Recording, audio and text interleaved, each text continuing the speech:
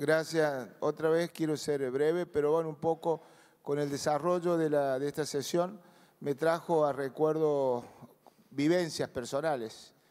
Eh, la verdad que en, mi casa el Pocho y la Coca eran una familia tan, ellos como padres, yo era chico, y recuerdo que había, en aquel momento era difícil que las madres solteras tuvieran familia, entonces eh, traían, adoptaban, por decir, a gente que, o una persona que vino de otra provincia a tener su familia en San Luis. Después, si quedaban huérfanos, también venían a casa. Si los padres eran drogadictos, también... O sea, yo me crié en una familia, en un seno, donde me, tengo cuatro, cuatro hermanos adoptivos, te diría, pero nunca de papeles, pero sí de crianza, en razón, digamos, de que se los, se los daban a mi familia para, para criarlos. Por eso creo que eso de la entrega está bueno porque fueron entregas consensuadas y bueno, que en casa lo, supimos contener.